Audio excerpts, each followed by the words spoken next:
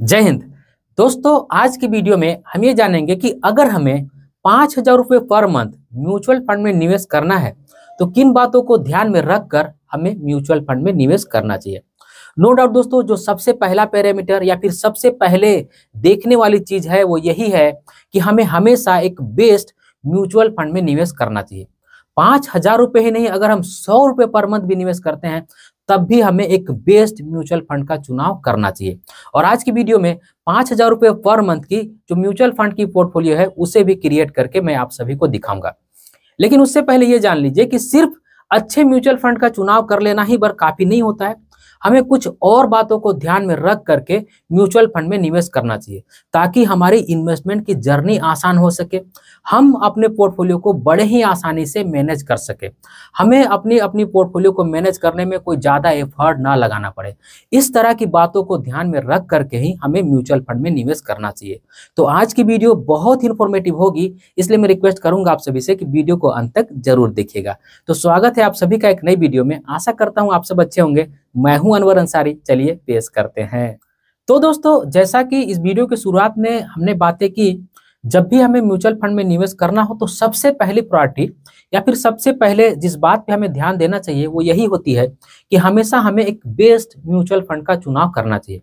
लेकिन उस best mutual fund की स्कीम में निवेश करने के लिए सबसे पहले हमें एक ऐप में रजिस्टर करना होता है। तो जो दूसरी सबसे अहम बात होती है, वो यही होती है कि हम जिस म्यूचुअल फंड के ऐप में रजिस्टर करने जा रहे हैं, उसमें हमें सारी सुविधाएँ मिल रही है या फिर नहीं मिल रही है। सपोज़ कीजिए हम ऐसे ऐप में निवेश करते हैं, जिसमें एसआईपी को मॉडिफिकेशन करने का कोई भी ऑप्शन नहीं है और हमारी इनकम बढ़ जाती है, हमारी सैलरी बढ़ जाती है। हम चाहते हैं कि अब थोड़ा सा ज़्यादा पैसा हम निवेश करें। तो अगर हमने ऐसे ऐप में निवेश किया है, जहाँ पे एसआईपी को मॉडिफिकेशन करने का ऑप्शन नहीं है तो हमें करना ये होगा कि हमें एक और एसआईपी रजिस्टर करनी होगी। या फिर जिस म्यूचुअल फंड में निवेश कर रहे हैं, उसी का एक सिमिलर एसआईपी और रजिस्टर करना पड़ेगा। तभी हम ज़्यादा पैसा निवेश कर सकते हैं। लेकिन अगर हम एक ऐसे ऐप में निवेश कर रहे हैं, जिसमें एसआईपी को मॉडिफिकेशन करने का ऑप्शन है तो हम ये कर सकते हैं, जैसे सपोज़ कीजिए, पहले हम दो हज़ार पर मंथ निवेश कर रहे थे। अब हम चाहते हैं कि तीन हज़ार पर मंथ हम निवेश करें। तो हम अपने एसआईपी को बड़े ही आसानी से मॉडिफाई करके तीन हज़ार पर मंथ निवेश करने लगेंगे। अगले महीने से हमारा तीन हज़ार रुपये पर मंथ जाने लगेगा। और हमेशा ऐसा तो नहीं हो सकता है ना, हर सिचुएशन में तो ऐसा नहीं हो सकता है। हम हमेशा जो सैलरी है, जो इनकम है, उसे बढ़ने की ही बातें करते हैं। हो सकता है कभी हमारी इनकम घट भी जाए। किसी कारण से कुछ समय के लिए हमारे पास नौकरी ना हो तो हमें एसआईपी को पॉज करने का भी ऑप्शन मिले। हमें एसआईपी का जो अमाउंट है, उसे डाउनग्रेड करने का भी ऑप्शन मिले। हम दो हज़ार रुपये के एस करते थे, अब चाहते हैं हम कि एक हज़ार रुपये के एस करें। अब हम चाहते हैं कि जो एस का इंस्टॉलमेंट का डेट है, उसे हम चेंज कर दें। तो इस तरह की सारी फीचर्स हमें मिलने चाहिए। इस तरह के ऐप में आपको निवेश करना है। और जिस ऐप के बारे में मैं आप सभी से बातें कर रहा हूँ, जिसका लिंक डिस्क्रिप्शन बॉक्स में हमेशा आपको दे देता हूँ, उस ऐप में भी ये फीचर्स है। तो दूसरा जो काम इंपॉर्टेंट आपको करना है, वो यही करना है कि आपको ऐसे ऐप में रजिस्टर करना है जिसमें एसआईपी को मॉडिफिकेशन करने का ऑप्शन हो। तभी आप अनकन्वीनियंस से बच सकते हैं। अगर ऐसा होगा तो आपके पोर्टफोलियो में बहुत ज़्यादा एसआईपी भी नहीं होगा। क्योंकि आप एग्जिस्टिंग एस में ही एस के अमाउंट बढ़ा लेंगे तो ऐसे में बहुत ज़्यादा म्यूचुअल फंड की स्कीमें अपने पोर्टफोलियो में रखने की ज़रूरत आपको नहीं पड़ेगी। तो दूसरी जो सबसे इंपॉर्टेंट बात है, वो यही है कि जिस भी म्यूचुअल फंड के ऐप में आप निवेश कर रहे हैं, उसमें सारे फीचर्स होने चाहिए। एसआईपी का मॉडिफिकेशन करने का ऑप्शन तो ज़रूर से होना ही चाहिए। और तीसरी बात जिसका आपको ध्यान रखना है, अगर इस बात को आपने ध्यान नहीं रखा तो पहले जो दो काम आपने अच्छे किए हैं, उसका भी कोई फ़ायदा होने वाला नहीं है।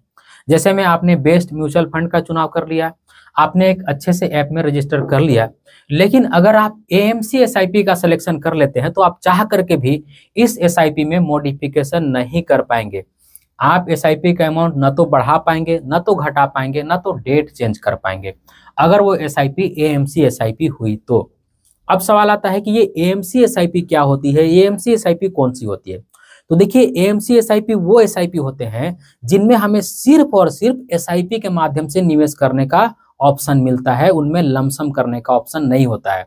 जैसे में Nippon India small cap fund, S B I small cap fund, Tata small cap fund.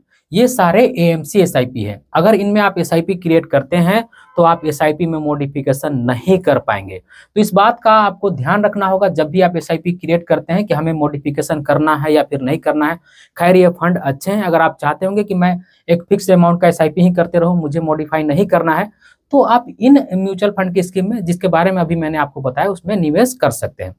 या फिर दूसरा ऑप्शन ये भी है आपके पास कि पहले जो एग्जिस्टिंग एसआईपी चल रही सपोज़ कीजिए कि हमने एक हज़ार रुपए का एसआईपी क्रिएट कर लिया, अब उसको हम मॉडिफाई नहीं कर पा रहे हैं तो पहले उसको कैंसिल कीजिए, अब फिर से आप दो हज़ार रुपए की एस क्रिएट कर लीजिए तो इस तरह से भी कर सकते हैं। लेकिन उसमें मॉडिफाई करने का ऑप्शन नहीं मिलेगा आपको, चालू एसआईपी को आप मॉडिफाई नहीं कर सकते हैं, जो भी ए एम होंगे ए एम से मतलब यही है कि जिन भी म्यूचुअल फंड की स्कीम में लमसम नहीं हो रहा होगा, आप समझ लीजिएगा कि वो सारे एसआईपी एएमसी एसआईपी है, उनमें मॉडिफिकेशन करने का हमें ऑप्शन नहीं मिलेगा। तो तीसरी हमें इस बात का ध्यान रख करके म्यूचुअल फंड में निवेश करना है। और चौथी, जिस बात का आपको ध्यान रखना है, वो है नंबर ऑफ़ एसआईपी अब आप यहाँ पे बोल सकते हैं कि भाई, आप यहाँ पे नंबर तीन तक ही लिखे हैं और चार कैसे बता रहे हैं? तो भाई, मैंने आपको एक्स्ट्रा पहले बता दिया है कि हमें बेस्ड म्यूचुअल फंड का सिलेक्शन करना चाहिए। दूसरे में है एस मॉडिफिकेशन तीसरे में है ए और चौथे में है नंबर ऑफ़ एसआईपी तो समझने की फेर है, आप समझ लीजिएगा, मैं जान रहा हूँ कि आप समझदार व्यक्ति हैं। तो नंबर ऑफ़ एसआईपी जब भी हमें म्यूचुअल फंड में निवेश करना हो और हम शुरुआती दौर में हैं या फिर पुराने भी हैं तो नंबर ऑफ़ एसआईपी हमें कम ही रखना चाहिए। तो इस बात का भी आपको ध्यान रख करके म्यूचुअल फंड में निवेश करना है। अब जैसा कि मैंने वीडियो की शुरुआत में आप सभी से कहा कि मैं पाँच हज़ार रुपए की पोर्टफोलियो बनाकर दिखाऊँगा तो चलिए, अगर मुझे पाँच हज़ार रुपए पर मंथ म्यूचुअल फंड में निवेश करना होता है तो मैं किस म्यूचुअल फंड की स्कीम में निवेश करता? चलिए, मैं उसे आपको यहाँ पे लिख करके बताता हूँ। तो दोस्तों, अब आप देख सकते हैं कि मैंने यहाँ पे पाँच हज़ार रुपए पर मंथ की पोर्टफोलियो बना ली है, और मुझे लगता है कि one of the best portfolio हो सकता है ये 2024 के लिए, अगर आपको पाँच हज़ार पर मंथ म्यूचुअल फंड में निवेश करना है तो। लेकिन सवाल आता है कि इस पोर्टफोलियो में यही फंड क्यों? और अगर इस पोर्टफोलियो में हमें निवेश करना है तो कैसे हम निवेश कर सकते हैं? तो दोनों ही बातों पर चर्चा करेंगे। तो सबसे पहले इस फंड में आप देख सकते हैं, सॉरी, इस पोर्टफोलियो में देख सकते हैं कि Parag Parikh flexi cap fund है। तो जब हम Parag Parikh flexi cap fund में निवेश करते हैं तो हमें अच्छा खासा एक्सपोजर लार्ज कैप स्टॉक्स में मिल जाता है। और साथ ही साथ हमें फॉरेन इक्विटी में भी एक्सपोजर मिल जाता है। तो कहीं ना कहीं ये फंड हमारे पोर्टफोलियो को स्टेबल करता है। दूसरे नंबर पर एसबीआई कॉन्ट्रा फंड है। तो एसबीआई कॉन्ट्रा को जान ही रहे हैं आप कि ऐसे स्टॉक्स में ये निवेश करता है जो वैल्यू फॉर मनी है। किसी कारण से स्टॉक मार्केट उन स्टॉक्स को अवॉइड करके रखे हैं। ऐसे स्टॉक्स में ये फंड निवेश करता है। तो आगे आने वाले समय में इस तरह के स्टॉक्स में अच्छा रिटर्न मिलने के चांसेस होते हैं। इसीलिए ये फंड ऐसे स्टॉक्स में निवेश करते हैं। तो वैल्यू ओरिएंटेड स्टॉक्स में निवेश करने के लिए कॉन्ट्रा फंड है। और तीसरा क्वांट स्मॉल कैप फंड अगर आपको तेज रिटर्न चाहिए तो आप देख ही सकते हैं कि क्वांट स्मॉल कैप फंड हमेशा एक नंबर पे रहता है। तो इसलिए यहाँ पे तेज रिटर्न पाने के लिए क्वांट स्मॉल के फंड तो मेरे ख्याल से ये तीन फंड पाँच हज़ार रुपए पर मंथ की एस के लिए आप कंसीडर कर सकते हैं। और अगर किसी को इस पोर्टफोलियो में पाँच से दस साल के लिए निवेश करना है तो मेरे ख्याल से दो हज़ार रुपए पराग पारिक फ्लेक्सी के फंड में जाना चाहिए। दो हज़ार रुपए एस कॉन्ट्रा फंड में जाना चाहिए और एक हज़ार रुपये क्वांट स्मॉल के फंड में जाना चाहिए। इस तरह से हमारा टोटल अमाउंट पाँच हज़ार रुपए का हो सकता है। सॉरी हो सकता है नहीं, हो जाएगा।